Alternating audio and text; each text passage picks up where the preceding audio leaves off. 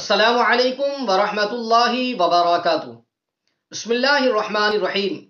اللہم لک الحمد یا اللہ، والصلاة والسلام علیکہ یا رسول اللہ صلی اللہ تعالی علیہ وسلم۔ ناظرین محترم، نکاح کے بعد جو چھہارے لٹائے جاتے ہیں، تو کیا چھہارے لٹانا چاہیے یا نہیں؟ یہ عمل کیا جائے یا نہ کیا جائے؟ آئیے آج اسی حوالے سے کچھ اہم باتیں آپ سماعت کر لیں، اپنی معلومات میں اضافہ کر لیں۔ مگر اس سے پہلے میں گزارش کروں گا کہ اگر آپ نے ابھی تک ہمارے چینل کو سبسکرائب نہیں کیا، تو آپ ابھی ہمارے چینل کو سبسکرائب کر دیں اور بل بٹن دبانا نہ بھولے تاکہ ہماری آنے والی ہر نئی اسلامی اور روحانی ویڈیو کی نوٹیفیکیشن سب سے پہلے آپ تک پہنچے۔ تو ناظرین محترم، نکاح کے بعد آپ نے دیکھا ہوگا کہ جب نکاح ہو جاتا ہے، ایجاب و قبول ہو جاتا ہے، اس کے بعد چھہارے لٹائے جاتے ہیں۔ تو کیا چھہاروں کو لٹانا چاہیے یا نہیں؟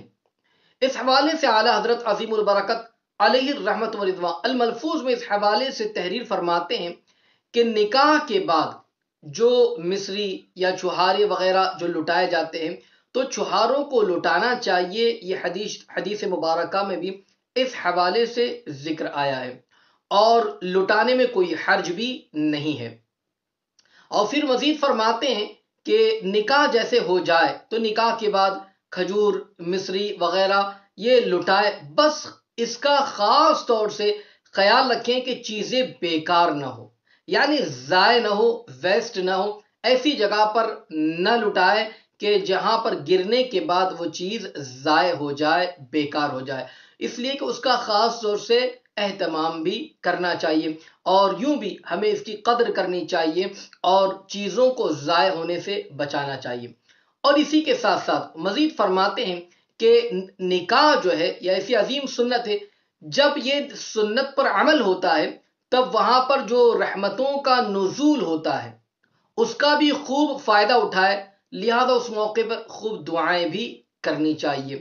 اب آپ دیکھیں کہ جب نکاح ہوتا ہے تو اکثر و بیشتر لوگ جو ہے بات چیت میں لگے ہوئے ہوتے ہیں اور کوئی یہاں جا رہا ہے، کوئی وہاں گھوم رہا ہے، کوئی کہیں دوڑ رہا ہے، گویا کہ جو اہتمام ہونا چاہیے، وہ اہتمام نہیں ہوتا۔ حتیٰ کہ خود میں نکاح ہو جاتا ہے، لوگ باتوں میں مصروف، ایجاب و قبول ہوتا ہے، لوگ اپنی گپ شپ میں مصروف ہوتے ہیں۔